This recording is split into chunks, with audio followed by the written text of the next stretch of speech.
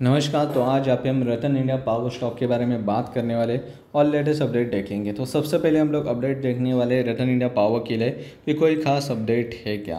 रतन India power rises यहाँ पे 11.14 billion loan तो बाकी कोई खास अपडेट नहीं लास्ट वीक की न्यूज़ है।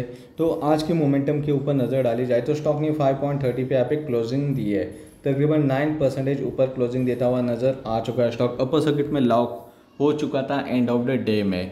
देखोगे तो एक positive movement month of June से देखने को मिले रतन इंडिया में, क्योंकि स्टॉक 3.50 के नीचे था। जैसे यहाँ पे आप देख सकते कि ब्रेकआउट दिया था 200 हंड्रेड मूविंग एवरेज को, थोड़ा सा सस्टेन था। फिर उसके बाद एक तेज़ी देखने को मिली। उसी के साथ यहाँ पे पॉजिटिव वॉल्यूम्स और भी बढ़ते हैं तो स्टॉक में और अच्छी मोमेंटम देखने को मिलेगी।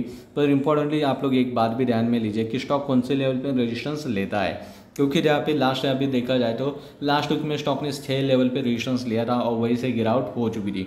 तो इंपॉर्टेंटली आप लोग ए लेवल पे जाके इन्वेस्टमेंट मत कीजिए, क्योंकि एक पॉजिटिव ब्रेकआउट मिलेगा तभी निवेश कीजिए। स्टॉक जब सस्टेन होगा सिक्स लेवल के ऊपर तब निवेश करने का चांस मिलेगा। आपको अब यहाँ पे ओवरऑल जोन में ट्रेड इन्वेस्ट करती है और जब इन्वेस्ट करती है तो स्टॉक में गिरावट नज़र आती है। तो ये इन्वेस्टमेंट की जो मोमेंटम होती है, वो यहाँ पे सपोर्टिव लेवल पे होती है, जैसे कि रेजिस्टेंस लेवल पे नहीं। जब ब्रेकआउट मिलता है तो इन्वेस्टमेंट कर सकते हो और जब स्टॉक सपोर्ट के करीबन आता है तब निवेश कर सकते हो। तो ये थे latest update Ratan India stock के लिए।